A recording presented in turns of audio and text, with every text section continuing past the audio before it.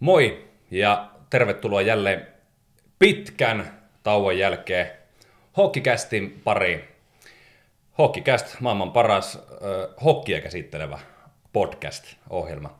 Ja tarkoitus on tosiaan ottaa vieraita Kajaanin hokista, pelaajia, valmennusjohtoa, muita toimihenkilöitä, hokkiin liittyviä ihmisiä meille vieraaksi ja sitten te rakkaat ihmiset saatte esittää myös omia kysymyksiä näille meidän vieraille. Ja nyt on kuulkaas ensimmäisen jakson aika koittanut ja meidän ensimmäisenä vieraana Kajanin paluun tehnyt mestaruusjoukkueen kapteeni muuten Antti Halonen. Tervetuloa. Kiitos, kunnia olla tota, ensimmäisenä paikalla. Niin, katsotaan, onko miten isot saappaat sitten tuota, niin, astuttavana vai miten, miten lähtee homma käyntiin. Kyllä meikällä on luottavana olo, että nyt hyvin, hyvin meidän mennä. Jep. Hei, tota, ennen kuin mennään nykyhetkeen ja tämän hetken hokkiin, niin otetaan vähän äijä omasta urasta ja ihan sieltä alkutaipaleelta, että mistä Pikku Antila lähti kipiinä urheilu alun perin liikkeelle ja nimenomaan jääkiekko? No joo, tietysti paljon, monta urheilulajia siinä meni, meni tota nuorena, nuorena, että jalkapallolla aloitin sitten isän, isän tota, Kajani Hakataustan kautta ja sieltä ensin jalkapalloon ja ala-asteella sitten hyvät kaverit Lohtialla, kun asuttiin, niin tota, hyvät kaverit aloitti jo ekaluokalla sitten tota, hokissa pelaamiseen. Ja mä tulin sitten pikkusen myöhässä, että mä tulin sitten tokaan luokalla vasta mukaan sitten, että kyllähän se sitten kerralla oli niin kuin suuri rakkaus sitä lajia kohtaan. Ja, ja, ja tietysti helpotti, että oliko meitä viisi vai kuusi siinä sitten tota, samalta luokalta, kun oltiin Lohteen ala-asteelta. Ja asuttiin lähekkäin, niin tota, oli jotenkin luontainen ja, ja oli kimppakyytejä ja oli tuommoista, niin kaverithan se varmaan sitten se suurin tekijä kuitenkin niin kuin lähtö oli. Ja se oli nimenomaan se jääkiekko, että mikä vei sitten mennessä? No jääkiekko sitten, että monesti ja se varmaan menee yleisinkin, että kaverit ja, ja, ja sitten innostuu lajista ja sitten ne tulee molemmat hyvänä juttuna niin kuin koko sen lapsuusajan sitten. Öö, niin, valitit jääkiekon ja minkälaista siihen aikaan oli olla jääkiekkoilija, nuori jääkiekkoilija Kajanissa? No olihan se kova juttu, että kyllä mä muistan ala oli hoki, hokin kamat tietysti koko ajan päällä ja oli tota... Ja nehän oli siis niinku arjessa ja juhlassa varmaan. Että... No koko ajan ja mä muistan aina äh, koulukuvaankin sitä yritettiin ja tota, osa vanhemmista se vissiin antoi läpi, meillä se ei ikinä mennyt läpi, että olisi hoki. Aika muistaa, että se olisi mennyt läpi se hokin paita siellä koulukuvassakin, että totta kai se oli, se oli kova juttu ja ylpeänä siinä sitten ää, sitä hokkia edustettiin ja jääkiekkoa niin kuin muiden lajien rinnalla. Niin. Ja diskossa varmaan oli myös päällä. Tai se olla siellä ala tai, tai nuorisotilan diskossakin tiettyyn ikään asti, sitten se ehkä vähän rauhoittu se hokki edustus. Ja jos olisit sanonut muuta, niin en olisi kyllä uskonut, että jos ei ole diskossa ollut päällä. Äh, no niin, sitten mennään diskoajoista ehkä sitten sinne niin kuin vanhempiin ikäluokkiin ja sitten kun ruvettiin oikeasti puhumaan siitä, että ruvetaan reenaamaan kovaa ja kunnolla ja onko, mikä sulla oli tähtäimenä silloin? No tavallaan ainahan se oli haave varmaan, niin kuin kaukaisia haaveita niin kuin jokaisella pikkupojalla sitä NHL. Muistan vuonna 92, kun aloitettiin sitten sitä NHLnkin seuraamista ja se tuli ja tietysti se oli vaikeampi seurata ja kerättiin kaiken maailman kortteja ja sehän se varmaan se, se unelma oli ja ehkä se ei niin kuin Kajaanissa konkretisoinut kauhean pitkään niin kuin ensinnäkin se, että, että, että jotain tulisi. Ja sitten tietysti meillä sattui hyvä se ikäluokka siinä, että meillä oli hyvä 82 ja me, me laadukkaasti tehtiin hommia ja hyviä valmentajia oli siinä sitten, jotka koko ajan oli niin kuin tukemassa ja kannustamassa ja osa jopa vähän niin kuin piiskaamassakin meitä, että, että, että mun mielestä se, niin kuin se meidän ikäluokka tekee niin kuin sen varmaan se että mi, mihin niin kuin suuntaan lähtee se joukkue. Että meillä ei ollut niin kuin semmoista vastakkainasettelua, meillä oli tosi iso ryhmä, jotka halusi urheilla ja halusi nimenomaan kehittyä, niin mun mielestä se oli niin kuin se, ää, sen niin kuin hyvän laadukkaan ikäluokan eteenpäin meneminen. Mistä se tuli semmoinen omaan kehittämisen halu ja sellainen boost? Oliko se niin valmennuksesta vai oliko teitä vaan semmoinen sopiva porukka? No mä luulen, että se on se sopiva porukka, että se olisi helposti sitten, jos siellä olisi moni, moni sitten sanonut, että ei tehdä tai ei mennä lenkille tai, tai mennä autojen tai piiloon tai tehdä jotain, että me kyllä niin kuin paljon harrastettiin ja paljon urheiltiin ja sitten tietysti mitä vanhemmaksi sitten mentiin ja sitten tuli tota, Meriläisen timppa siihen valmentajaksi, niin sitten kun ruvettiin oikeasti urheilemaan, niin sitä urheilija elämää niin vietettiin ihan mahdottomasti ja vedettiin se yläasteiässä jo niin aamu illoin kesät ja nuo, niin tota, kyllähän me niin kovassa kunnossakin oltiin, mikä sitä edesauttoi. Ja Mertestä, Mertestä tuota, varmaan siellä ruudun toisellakin puolella niin löytyy, löytyy monia muistoja ja tarinoita. Palataan tuossa toviin kuluttua sitten niihin. Mutta tota, aika Kajaanissa jääkeikköllä sitten aika, aika hyviin tuloksiin näin Kajaanin mittapuullakin, niin sieltä se ainut mestismestaruus sitten palkintona ja varmaan nämä kaikki vuodet siinä jollakin tavalla purkautui ja se iso työ siellä taustalla näkyy, niin kerro vähän tuosta ajasta ja ehkä tuosta kaudesta, että minkälainen joukkue ja miten se rakentui ja miten siinä sitten kävi niin kuin kävi. Niin, silloinhan palattiin tietysti takaisin ja siinä oli paljon käännöläistä runkoa, että sitä samaa, samaa ikäluokkaa ja vähän vanhempia, mitkä pois lähti unelmien perässä sitten ja tultiin takaisin sitten Kajaaniin, niin se oli niin kuin iso yhdistävä tekijä ja hyvä boostihan me saatiin ja me sitä siinä kerettiin pelata ja Kyllähän se tietysti hyvä se mestaruusjoukkue oli, että kyllähän sitten Suikkanen kun tuli siihen tota, valmentaa, niin se sai sen meidän niin kuin koko homma toimimaan ja sai just sen hengen päälle ja se oli edelleen sitä, että kaikki halusi kehittyä, haluttiin mennä eteenpäin ja oltiin nuoria sopivassa iässä ja tosi paljon yhteistä oli kaikilla ja oltiin niin kuin hyviä kavereita koko ajan. Mun se on niin kuin aina ollut se laadukkuuden merkki sitten kuitenkin, että viihdytään yhdessä, ei ole mitään kuppikuntia ja semmoinen, voisiko jopa veljeys sanoa siinä mestariporukassa, että monestihan se sitten aika kultaa silleen muistot, että vain mestarijoukkueet muistetaan ja monta muutakin hyvää niin kuin joukkueen henkeä ollut, mutta kyllähän se oli niin kuin tosi, tosi huippuporukka, mitä sitten tehtiin ja mentiin sitten sinne mestaruuteen. Että kyllähän se kajanilaisena oli tosi iso juttu ja kapteenina vielä sai olla sitten kunnian siinä, niin tota, olihan se ihan superjuttu sitten. Ja nimenomaan just varmaan kaikki muistaa, muistaa sinut mestaruusjoukkojen kapteenina.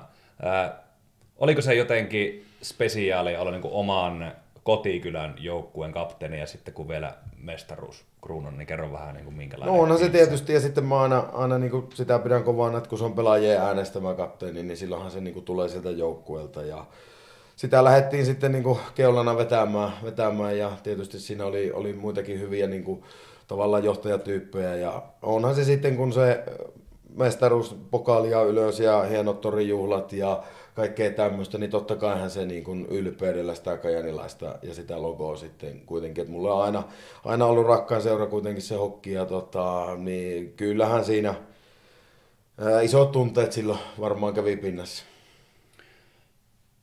Nyt kerroit, kerroit vähän tuosta menneisyydestä ja pelaajaura alkutaipaleista ja Kajanihokin mestaruudesta.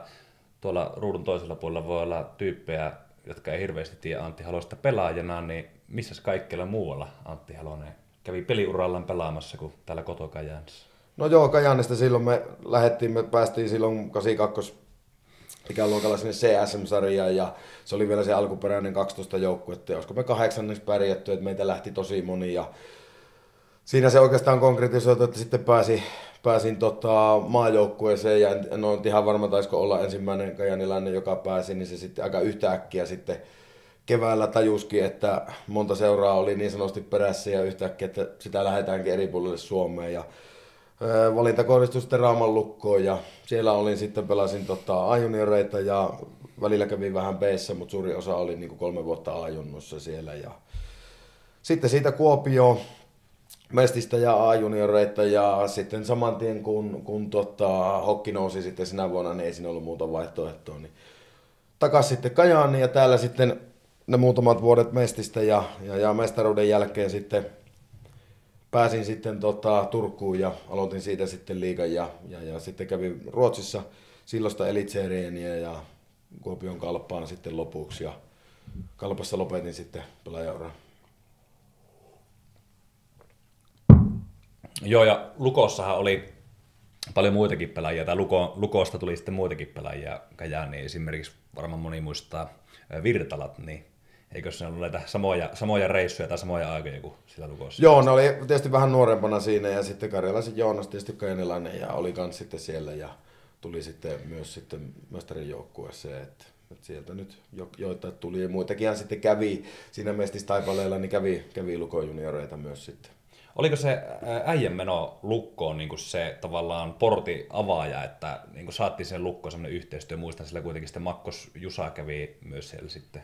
Joo, ja Hattusen veljekset kävi kyllä. siellä. Ja kyllähän se varmaan oli sitten se äh, ensimmäinen, ensimmäisenä sen meni ja Uramarra oli, oli sitten täällä taas Kajanissa ollut pelaamassa ja hän oli sitten siellä Totta, organisaatiossa, joo, niin hän oli sitten taas äh, innokkaana minua sitten sinne viemässä ja sitten pari vähän vanhempaakin, pari vuotta vanhempaa olisi päässyt sitten kanssa mukaan, mutta ei lähtenyt, niin minä lähdin sitten yksi, ei niin suureen Raumaan, mutta tuota kauas ainakin Kajaanista. Sanotaan näin, että kyllä se Kainuun kulttuuri ja Raavaran kulttuuri kuitenkin pikkusen eroavat toisistaan. Että no tuota... joo, onhan se, onhan se vähän eri. Että, että silleen, silleen hattu nousi, että yksi olet lähtenyt no joo, haasteita oli, kohtaan. Olihan se kova tietysti suoraan tota, ysiluokan jälkeen siitä, heti kun todistus saatiin käteen, niin seuraavana päivänä lähdettiin sitten vanhempien, vanhempien etätin kanssa sitten kohti Raumaa muuttokuorma ja siitä sitten alkoi kolmen vuoden projekti pakko vielä tuohon ö, mestaruusvuoteen palata, niin tota,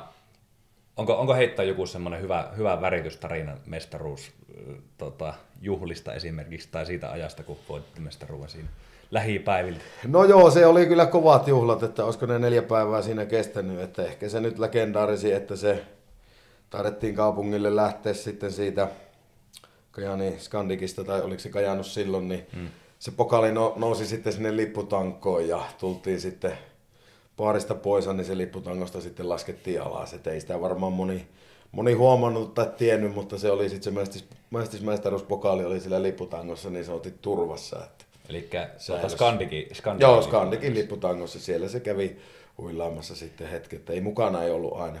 Ja on ollut myös niin kuin ammattimiehet asialla, että olette saanut sen sinne lipputanko, että ei se välttämättä ihan niin kuin, tota... Meistä oli moneksi. En, en tainnut itse olla tämä ainakaan, en ole niin suurimpana tuota, pääsmärinä siellä ollut, että tuota, siellä on ollut vielä tuota, huikeampia ja innokkaampia kuin minä.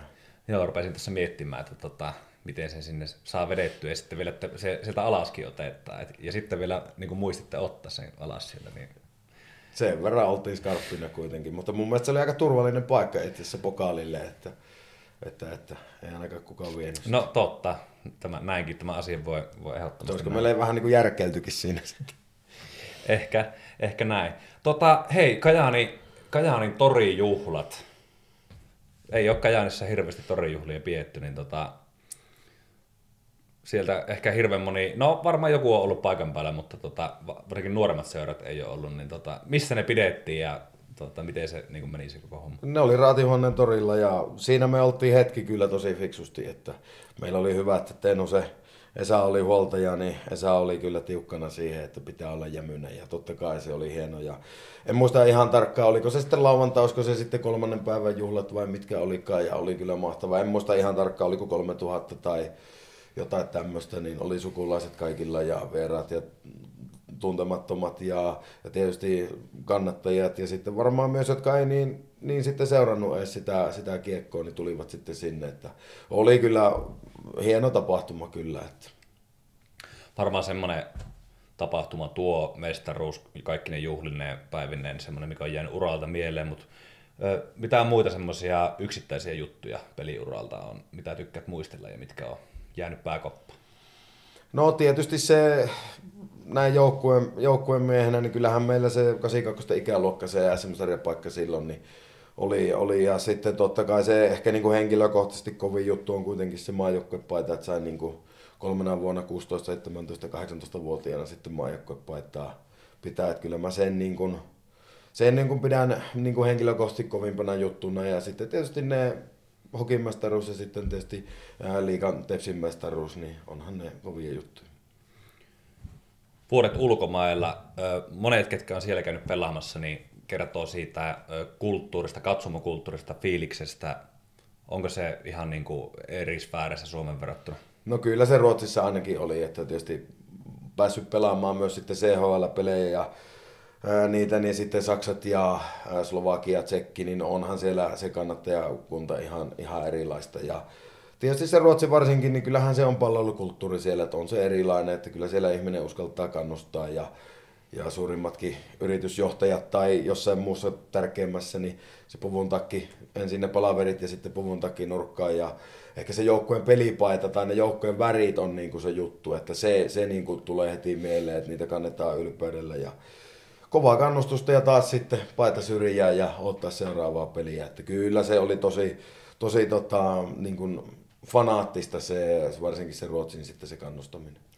Ai vitsi, tuo on kyllä niin kuin tämmöisenä urheiluromaantikkana. On, on kyllä niin mahtavaa kuulla, että just siellä tavallaan heitetään ne tittelit kirjaimellisesti nurkkaan ja sitten kannastet tästä omaa joukkoa. Että, että vitsi kun Tuomasta saisi niinku no se on Suo- Suomeen näin. jostain ammennettu. No juuri näin, ettei niinku kerron katso ja tota, hyvä, että ei olla tuota hoitoon viemässä, jos oikein yrittää niinku innostaa ja kannustaa. Et mun mielestä se vaan on hienoa, että siellä on värejä ja sitten ääntä mahtuu sinne halliin, kunhan se on niinku järkevää ja asiallista kannustamista. Niin ja sinne mahtuu erilaisia titteleitä siihen samaan katsomaan. No juuri näin, että eihän se niinku yhteinen rakkaus siihen omaan seuraan, niin eihän sillä ole mitään, mitään että kaikki on samaa arvoisia.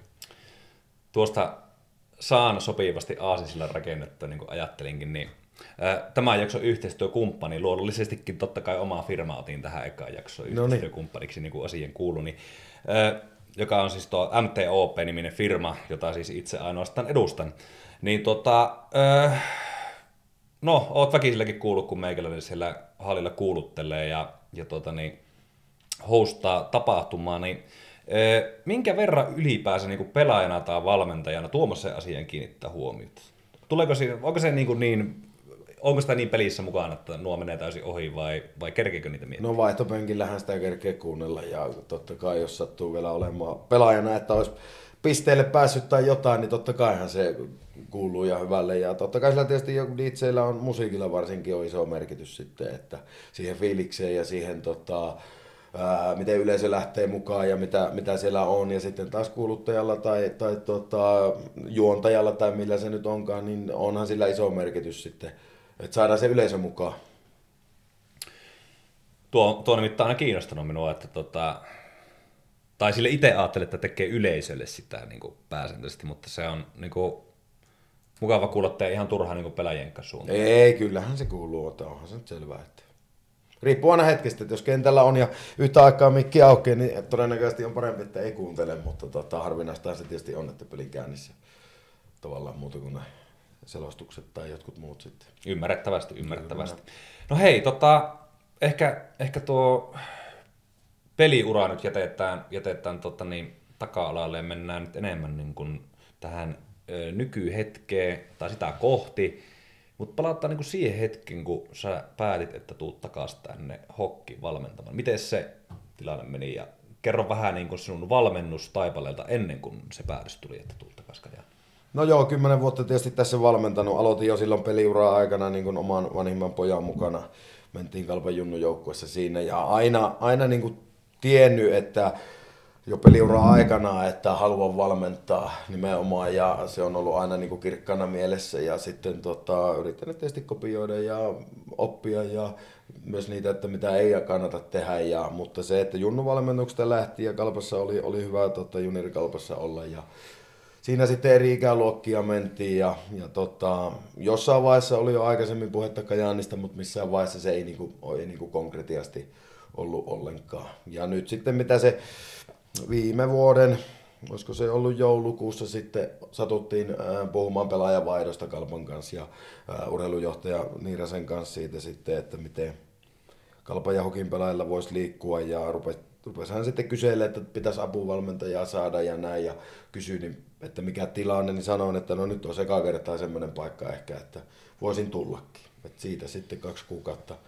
väännettiin ja käännettiin ja mietittiin ja rupesin sitten sitä urasuunnitelmaa tekemään ja miettiä sitten ja, ja, ja sitten se tuntui koko ajan niin, niin hyvälle ja loogiselle niin kuin itselle tämä tänne tulo. Et totta kai siinä on monta haastetta muutakin kuin pelkästään minun elämästä kiinni. Et, mutta tota, oikeastaan niin kun, ei siitä sitten paluuta hirveästi ollut.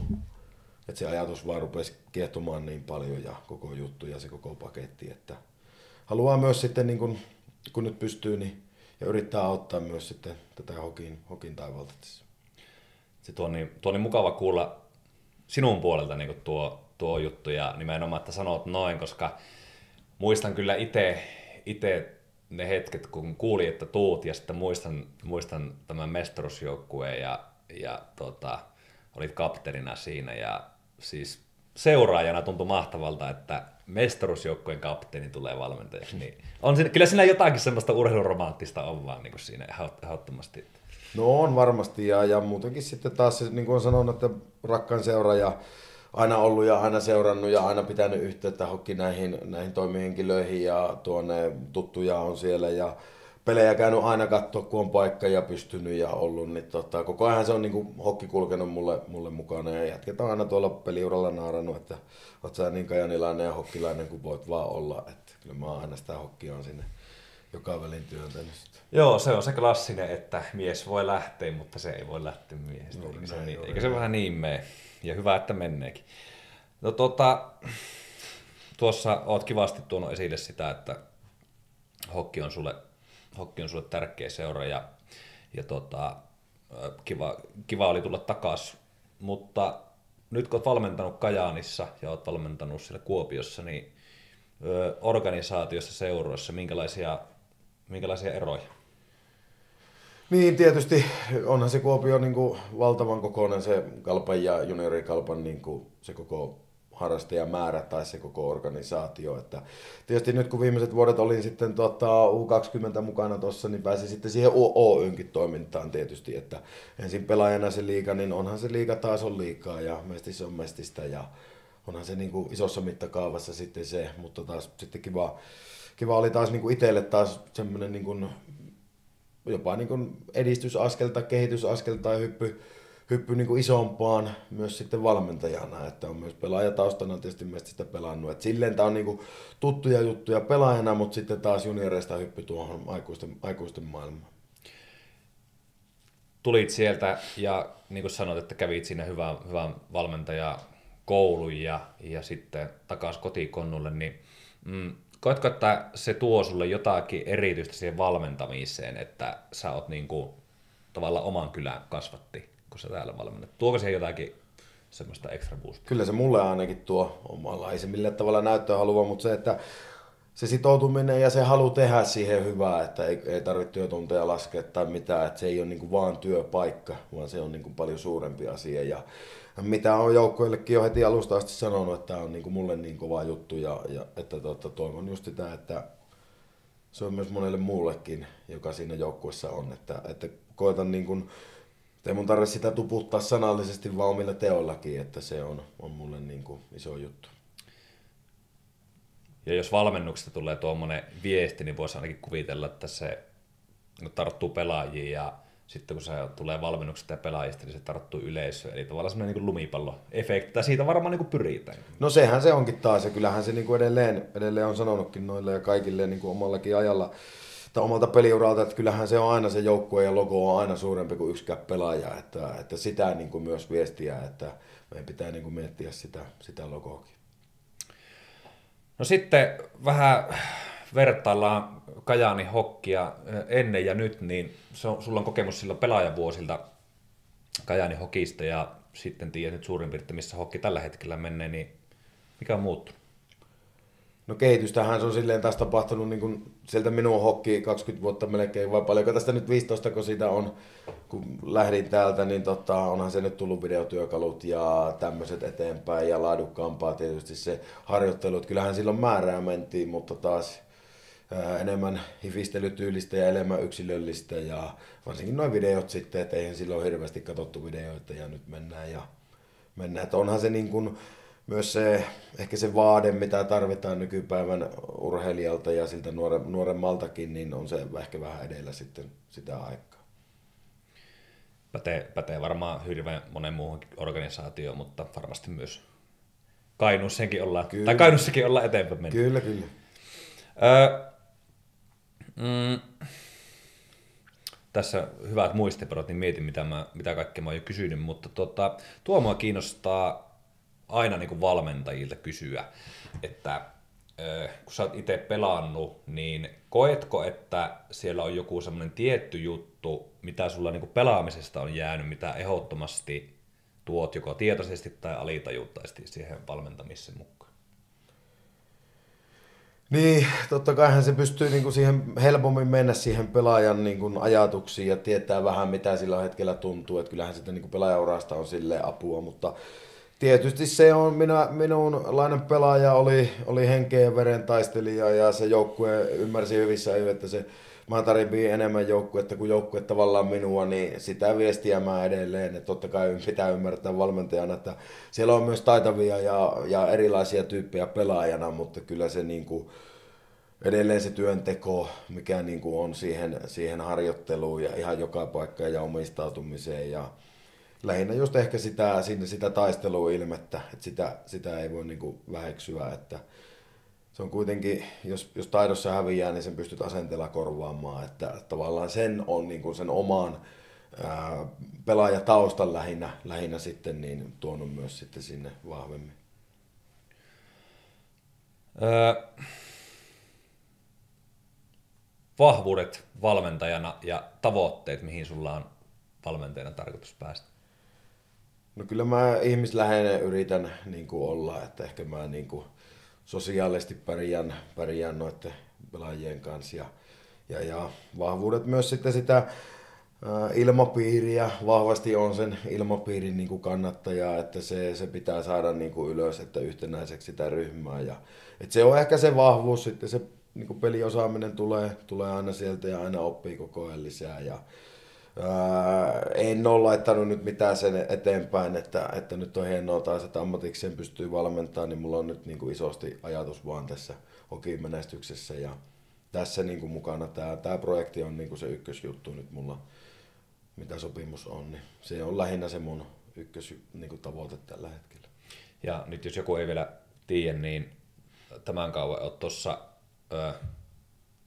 ns. Niin kuin kakkosvalmentajana ja sitten ensi kaudella hyppäät, hyppäät sitten päävalmentajan rooliin, niin miten tämmöinen, oli, oliko tämä ainoa ja oikea niin kuin ratkaisu tässä tilanteessa, koetko, että minkä verran on hyötyä siitä, että ootit apuvalmentaja eka ja sen jälkeen vasta päävalmentaja? Totta kai pääsee niin kuin tuohon valmentajana kiinni tuohon mestikseen ja tietysti Räpsällähän oli tota, sopimuskin, niin se oli luontainen ja mä koin sen silleen, että, että Hokin tarve ja pyyntö oli, että nyt tarvitaan niin kuin apuvalmentajuutta ja sitä äh, lisää niin kuin, äh, voimavaraa ja sitä omanlaista osaamista ja sitä, niin se oli niin kuin luontainen, että nyt, nyt niin kuin autetaan hokkia, että, että ensin apuvalmentajana ja sitten vastuu. Että kyllähän tässä kuitenkin koko ajan opintiellä ollaan, niin uskon, että tämä on, on tota, se ainut oikea ratkaisu. No mutta hei, niin kuin sanoin tuossa alussa niin kuin ruvettiin Antilta kyseleen, niin tota, yleisöhän saa aina meille kysyä vierailta sitten. Ja, no niin. Ja tuota, tuolla Instagramissa meillä joka jaksoa ennen on sitten mahdollisuus kysyä ja kerrotaan siellä, että kuka on vieraana ja ja tota, laitetaan kysymysboksit eetteriin, niin tota, ootko valmis? Joo, katsotaan, totta kai, katsotaan totta täältä kai. Muutamat, muutamat kyssärit ja kiitoksia ensinnäkin kaikille kysyjille nyt jo etukäteen tässä vaiheessa ja katsotaan kiittäkö Antti kysymyksestä vai tota, mm. niin, eikö kiitetty minkälaista kyssäriä tulee. Mutta tota, mm, aloitetaan tämmöisellä kysymyksellä, että montako harjoitustuntia kautta kertaa tulee viikossa joukkueelle ja täällä vielä tarkennetaan, että sisältää fysiikka ja jääharjoitteet. No joo, maanantaisin yleensä harjoitellaan, riippuu tietysti vähän pelikuormasta, maanantaina kaksi jäätä ja yhteinen fysiikka ja tiistaina kaksi jäätä enemmän yksi joukkue, yksi tota, pelipaikkakohtainen jää sitten iltapäivään sinne voimaan. Keskiviikkona yksi jää.